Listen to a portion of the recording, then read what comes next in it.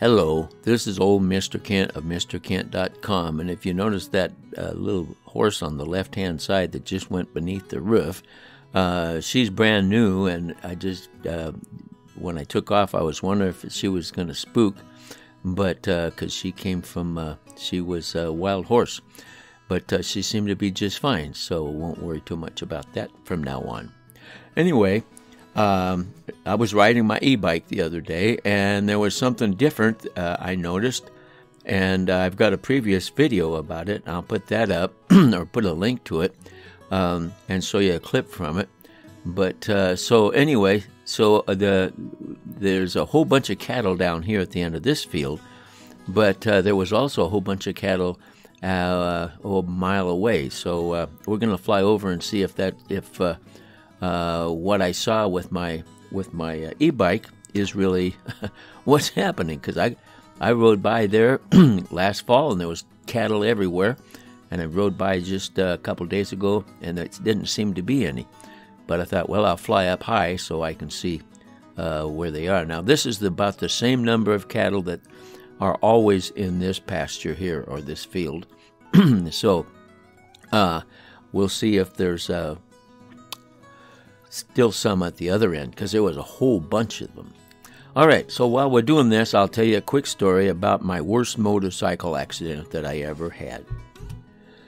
And what that that's back that happened back in 1982. I'd been riding my, I had a 1980 Harley Davidson um, Road King full dress, and they didn't have all kinds of models back then, so that was the highest uh, level you could get. And uh, we were planning a trip uh, in the in the camper to go to the ocean as a family. And my oldest daughter, she said she would rather go stay with her grandparents, and so that's all right. And so, uh, a day or so before we were supposed to leave on vacation, uh, we piled on the Harley, and she loved to ride the Harley. So we got on the Harley, and I had a buddy riding along with me just for fun. And we rode from Pasco, Washington to Dayton, Washington, and dropped her off with the grandparents. And then uh, said hi and goodbye and came back. Well, as we came through Walla Walla, uh, there it was four lane highway through Walla Walla until you got to the uh, to the uh, uh west side of it, and uh, then um, it turned into a two lane road. And we'd been going, you know, 55, I think was the mile, the speed limit back then. And so as we came down uh, to the two lane road, um, there was a car ahead of us, and he started slowing down and slowing down and slowing down. And wisdom would have told me, uh, just wait and see what he's doing. But uh, uh, he was just slowing down. And so I thought, well, I'm going to go around this guy. There's nobody coming. So I goosed it, and as I came around him, he immediately made a sharp left turn. And I ran in. I remember seeing his uh, his fender and his wheel uh, smash into my right leg. Now that's cow manure, and I put a video up about this not too long ago.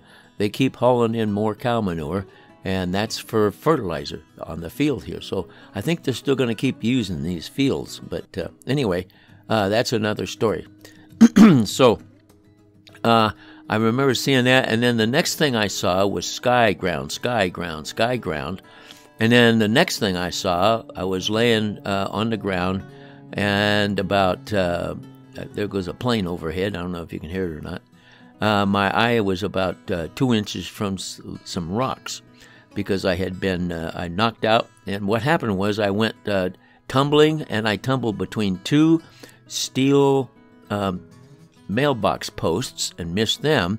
But there was a power pole that a, a wooden power pole, and I, I crashed into it with my helmet and they weren't required back then, but I was wearing one. So anyway, uh, crashed into that, and that's what knocked me out. I wish I still had the helmet because it had a real, a real heavy dose of creosote on the top of it.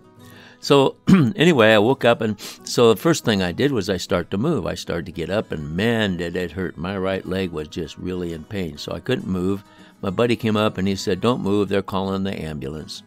And so I laid there, and pretty soon the ambulance came and um, they very carefully uh, did whatever they did to get me into the ambulance.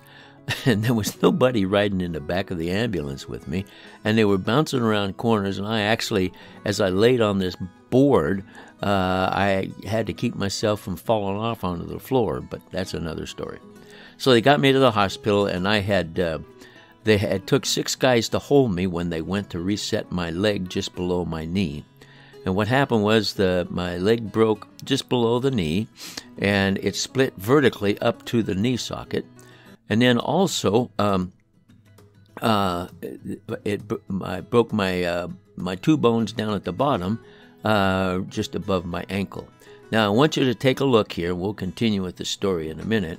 I'm gonna put another video up here and let you take a look at what it looked like last time that I uh, last time that I I uh, rode here. Now, back in November, when I got my I got my uh, e-bike, I rode down this canal road where you see the car driving along there, and uh, it was early morning, and I heard all these cows mooing and everything, and so uh, I thought, well, there's a lot of cows there. So I came back later and made this this video with my with my uh, Mini 2, and uh, just for fun. I I didn't know there'd been so many cattle there. But then just the other day, I'm riding along and they're all gone, and I'm thinking, what happened? So anyway, that's what uh, I wanted to, to, check out. Were they at the other end of the field, or were they um, were they uh, where were they? Did they go to McDonald's? Were they slaughtered? Did you eat one of them the other day? Anyway, so that's there's the feet. That's that little uh, uh, dirt spot. That's where they fed them right there. And then there's a second one over here that we'll back up and see pretty soon. But as you can see, there's no cattle there. And I noticed the field was all overgrown when I was riding by. So I don't know what happened to them. My wife says that maybe they moved them to a different location for the winter. Well, that could be. Um, but anyway, there's no cattle there and I'm thinking probably they went to McDonald's. All right, so let's go back to the story. So anyway, uh, they had to, it took six guys to hold me. It was so painful, and uh, so then they, the uh, the doctor, uh, I was in the hospital there for ten days while they, uh, well, the, first of all they operated and they set the leg like it should be, and they put the the upper part, the the part that broke just below the knee on that bone um, the upper part split vertically, and so they had to put a screw in. And of course, that screw went beyond the end of the bone and stuck out on the other side. And the doctor said, I've never seen anybody with such soft bones as you have. And of course, that didn't make sense because they always told me drinking too much milk would give you make your bones hard. Well, my bones didn't get hard. So anyway, I was in the hospital for 10 days, and then I got to go home for two weeks. And then I came back for another seven days while they did more operating, and they finally got it got it to where it was uh, it was you know finished. And then I got home. I got to go home, and I was in a wheelchair for oh I don't know a couple weeks or so, and then I was and then finally I graduated to uh, crutches. And crutches are no fun because you can't carry a cup of coffee across the room when you have crutches. And uh, so that was kind of a, a, mess. And so my wife was, I, I, think she lost patience, but she was pretty patient with me because I was not a happy camper. I was, I was not in a happy mood. So anyway, then uh, uh, after several weeks, uh, I was able to get rid of the of the uh, crutches, and I had this cane that I had carved when I was a teenager out of a tree limb, and I just kept it, you know, and so uh, for about the next seven years, I walked with that cane and uh, take, took it everywhere I went. And after about seven years, it was healed up enough that I didn't need to use the cane anymore. But uh, and the sad part is, is uh, when uh, my wife heard that I was in the hospital, that kind of put an end to uh, going to the ocean.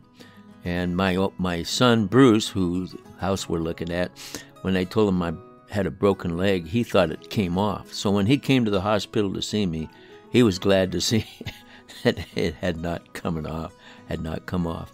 So anyway, that's my story. I hope you enjoyed the video. I want to thank you for watching, and God bless.